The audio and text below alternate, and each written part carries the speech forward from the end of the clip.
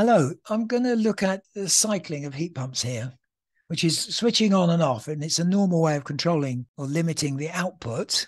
Now, it's not necessarily a bad thing, and it, it's maybe it should be expected, but I notice some people trying to avoid it at all costs, and that may not necessarily be a good plan. So I'm going to look at some monitor graphs here of some operating heat pumps and just comment on some of the better and not so good examples. Now, I've put the term short cycling, and short cycling is really a term used when when we're in sort of fault condition. Usually, it's a big waste of energy and probably causing wear and tear. So let's get let's get started.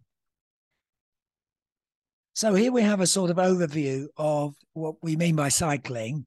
This is a, a one day graph of a system being monitored and we're only showing here the, the flow temperature out of the heat pump and the electrical power input. Now, what I'm, I'm showing here with the green line is when the room thermostat is calling for heat. This is due to one or more thermostats asking the heat pump to run. And we can see at the end period here, it's cycling on and off on the heat pumps cut out. So the thermostat is enabled all the time, is on all the time the heat pump is getting up to a flow temperature of 45 and turning on and off. At the early, earlier period, the heat pump keeps running. This will be because there's more load, there's more radiators or more underfloor loops in circuit. Now, with a boiler, we're more used to a thermostat switching on and off more regularly. In other words, the temperature is satisfied quite easily because they're fairly high output. But with a heat pump, the output will be lower, the temperature of the radiator will be lower and it's quite likely to hover below the setting of the thermostat, which is fine. So that's just a, general over, overview. Now let's look at some specific details. I'm First, going to look at a ground source heat pump. I'm just showing the diagram so then you get a better idea of actually what, what I'm talking about. The next graph shows this system being monitored, and it's an older ground source heat pump, and it's very simple. And all we're monitoring is the flow temperature to the underfloor heating and the return back from the underfloor heating and the electrical input to the system. This is just showing the ground loop temperature, but I'm not uh, showing that on this graph. And this is a, a graph generated over about 12 hour period. So just to recap, there's temperature on this scale and um, power in watts, input power on, on this scale we can see that the compressor or the system starts at this point here. The power jumps up to just over a kilowatt. And as that happens, the flow temperature rises up. And shortly after, the return starts to rise as well. And we've got this long period of four or five hours where the flow and return are rising nicely in parallel, about five degrees difference, five degrees delta T across the flow and return. And during this period, of course, the floor screed is is warming up and heat is being delivered to the to the building. Ignore these little um, blips, which are a very brief hot water cylinder heating. Now, what I've added here are an estimate of what the COP will be. This is the energy efficiency, the ratio of the heat output to the power input at these operating temperatures. So the efficiency as the water temperature rises will be dropping because the the temperature is rising and a little bit harder work for the heat pump. See, this is how I estimated the COP variation with the dropping the temperature by two and a half degrees. This is something which is quite useful actually on my website up here. You can put in the flow temperature on the hot side and the source temperature, and this uses the Carnot COP equation to estimate what the COP might be. And whilst that isn't particularly accurate, uh, it's not that bad, but it's quite good at, at showing the variation. So in this case, we're looking at a ground source heat pump that's probably evaporating. The refrigerant is probably evaporating at around about zero. And if the flow temperature is about 29.5, we're getting a COP of just over four and a half. And if we drop this down by two and a half degrees, the COP goes up to almost five. So that's about 8% better, which is a reasonable amount. What I'd like to look at is this what actually happens when it starts to cycle, because at this point here, the return temperature has got to the setting of the heat pump and it's decided to stop because there's enough heat being delivered to the floor. So it stops for about 35 minutes or so. You can see the flow and return temperature come together. So we know the circulation pump is still running. We can see that on the wattage down here. And then after a certain time, it's dropped to whatever the value is. And then it starts up again and it runs again for another 40 minutes or so. Now, the actual temperature of which the heat pump sort of sees, the, the, the water going through the heat pump, is rising up from about 27 and a half up to about 31 or so. So I reckon the average temperature that the heat pump is seeing is about 29 and a half. So let's look at what actually is being delivered to the floor. Because the floor is not only getting this bit, but it's also getting this bit. It's still flowing, the water's flowing to the floor, rising up to about 31 and right down to oh 23 or so. So the average temperature the floor is getting is about 27 degrees. So instead of actually pulsing on and off and operating here, we could, if we could reduce the power of the compressor, we should be able to operate at about 27 degrees steady state because we'd still be getting the same amount of heat into that floor. And I'm showing that here. I've just drawn in, instead of the heat pump cycling on off about 50 50 here. If we can halve the power input, run in steady state, then the flow temperature should be somewhere in around 27 degrees. And because the heat pump is, is seeing a lower temperature, we should get a better COP, meaning, in fact, this is a bit less than half. So there's a saving being made. Now, I've, I've done this estimate here on the COP so I'm suggesting that whilst if we operate here in cycles, the average COP might be 4.56. Don't get hung up on the decimal points. This is approximate. But if we can operate down at 27, the COP should increase to about 4.94, which I think is about 8% improvement. So this is really what inverter variable speed heat pumps do. They drop the flow temperature. That's one of the main advantages, so that the COP can be a bit better. So what I'm suggesting here is when you have cycling, there's always the opportunity to avoid it and run at a lower temperature, but that does depend. The, the, the equipment can do that and is going to operate efficiently at that lower temperature. I've just added this in. For those of you wondering about ground source heat pumps and and them running continuously as opposed to cycling because there's a feeling that there needs to be some rest time for the ground source to recover. Uh, I like this graph; it's quite interesting. It's an inverter ground source heat pump which is running non-stop for the whole of the winter there for three months, I think. This is the power input, which is varying a little bit from time to time, but the, the ground source doesn't get below six. There's no problem there running at, at steady state. It's a matter of the ground loop being big enough for the the heat quantity that's been taken off.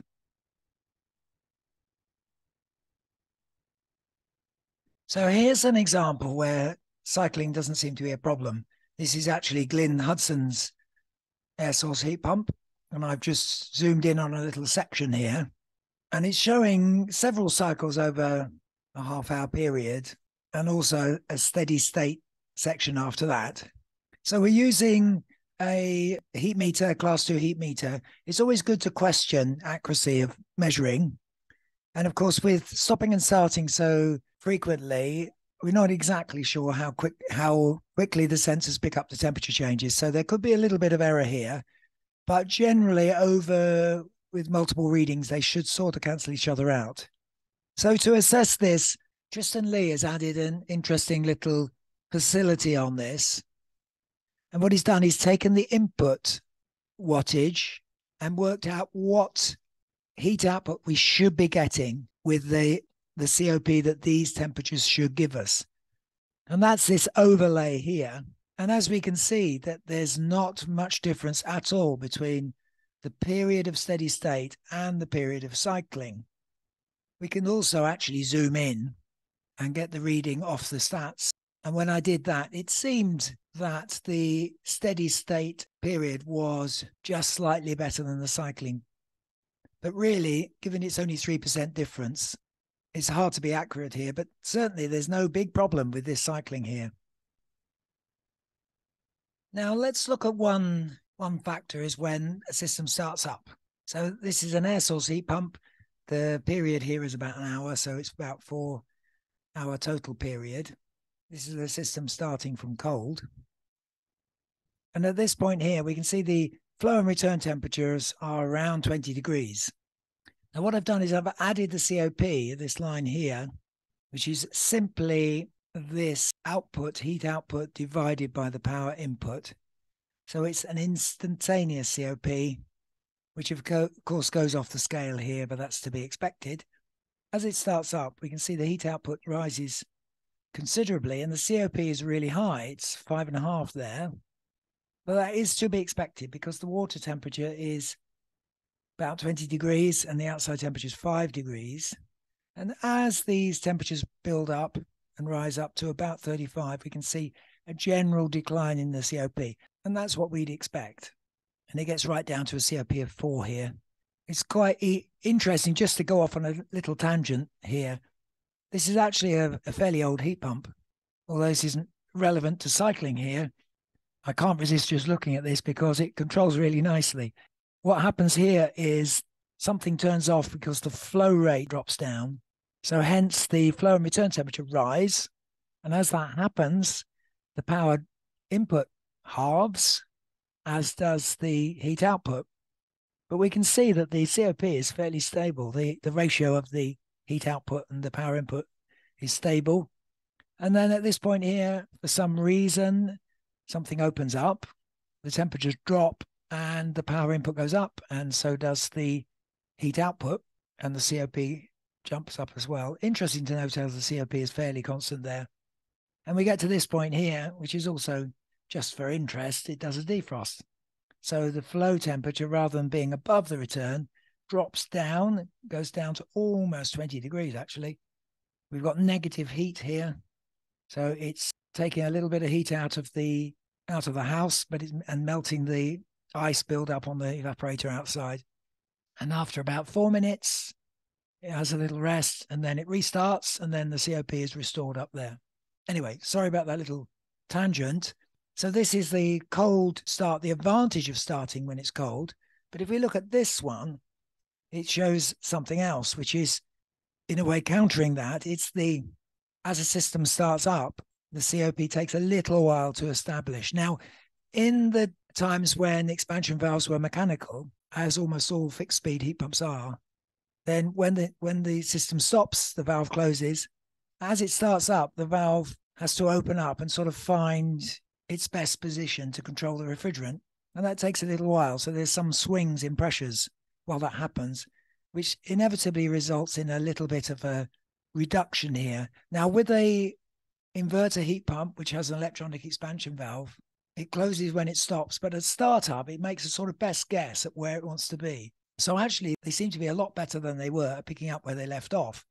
Now, here we've got just a, a few minutes where the COP isn't particularly good, still not too bad.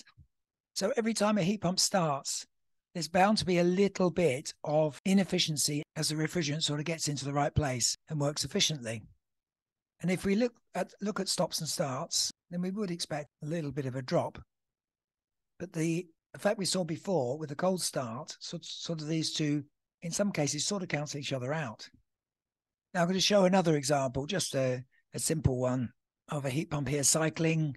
And this these are 40 minute cycles. So this is a quite a long duration. and it's worked at steady state here quite nicely with the flow temperature of 36. And the air temperature is rising up slightly. So it's a warmer period.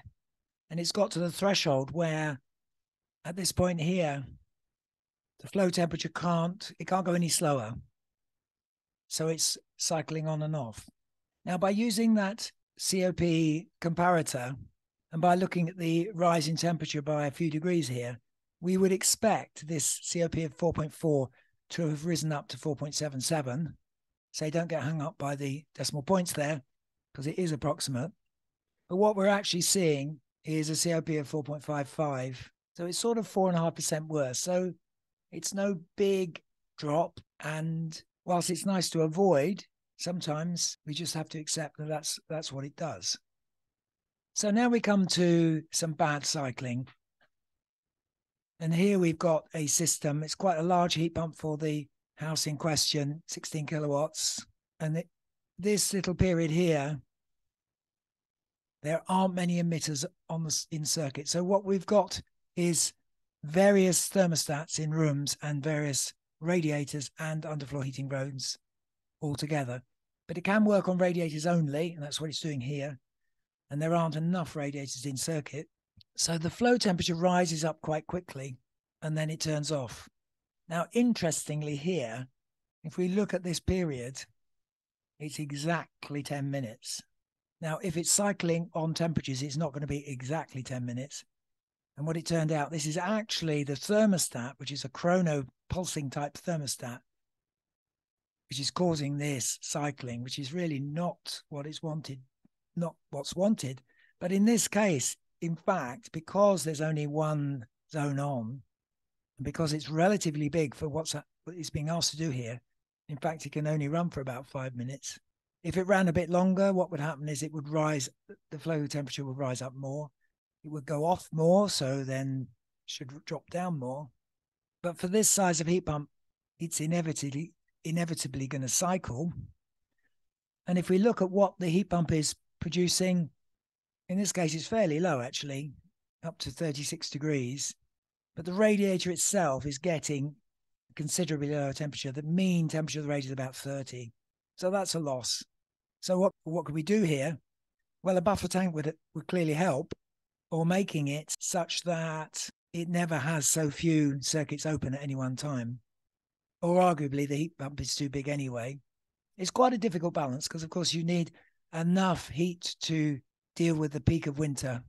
But you don't want something that's going to do spend a lot of the year doing this. Now, in this case, the system, I mean, it, it is quite complicated. There's five circulation pumps and actually quite difficult to set up and to know what's happening, partly due to its complexity. There's something nice about simpler systems. But on larger buildings with lots of rooms, it's likely to be fairly complicated.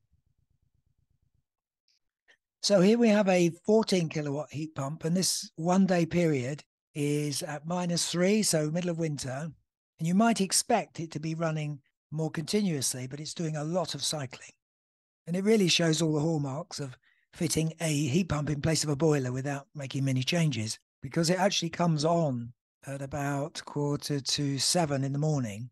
I'm not sure what time they get up, but that's quite late for a heat pump. And it's had all of this nighttime at minus three outside with no running at all. So it's got quite a bit of catching up to do. So inevitably, the heating curve has been set quite high. It does hot water heating first thing. So there's nothing about this that's set up particularly well. But after maybe an hour and a half of running, it starts cycling. Let's just have a look. Let's just zoom in on the cycling. And this is a one hour period. And we can see it's running, I think every 10 minutes, it's uh, turning on off six times an hour and the flow temperature is ramping up to above 50 and dropping down to 32, which is a bit bizarre, really. And the flow, uh, the return temperature is not much above 30. So the actual temperature of the radiators will be, some of them will be quite low. They'll be uneven.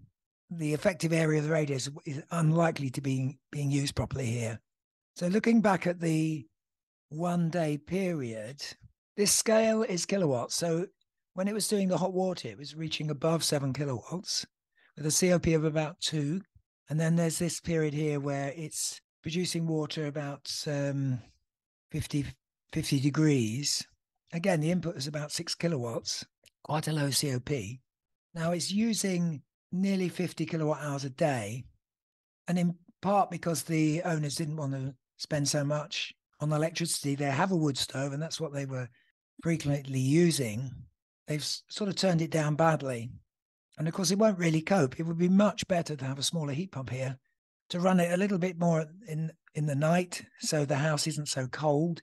They'd be able to turn the heating curve down Not only that, of course, if the heat output is less, then the flow temperature won't rise up anything like as much, and they could achieve much better performance. Now, this is a really interesting graph from EcoForest, and it's showing the variation of COP due to compressor speed. This is the compressor speed here from 100% down to 15%, and the COP up here, obviously six being exceptionally good. And we can see that when the compressor's in mid range, the COP is best. But at very low speeds, then the, then the COPs drops off. Now, your heat pump on minimum speed may not be running down here because, of course, the manufacturers set the algorithms to stop at a certain condition or certain speed, and clearly this is is to be avoided. And it would be probably better to cycle with medium cycle frequency than it would be to try and operate continuously down here. So why is this variation? Is it what we'd expect? Well, it is because at high speed, maximum speed, the pressure drops in the pipes will be greater, the heat exchanger watts per square meter will be higher. There'll be more temperature differences. So you'd expect a lower energy efficiency here. And at very low speed, my understanding is electric motors aren't particularly good at low frequency. So I think it's the motor, electric motor side of things, that the main problem here. But also, we're noticing at these conditions that refrigerant control can be a little bit variable or temperamental. So thank you, EcoForest, for sharing that. I like EcoForest because they they share all the information you might need to know like this. So there's some thoughts on cycling. It's not a thing to avoid at all costs. It's nice to avoid if possible, but clearly with the current air source heat pumps, the, the problem is much much smaller than it used to be. It's quite nice to try and design systems so they're unlikely to cycle. So if you did find that useful and liked it, please push the like button. It might be helpful. Okay, thank you. Goodbye.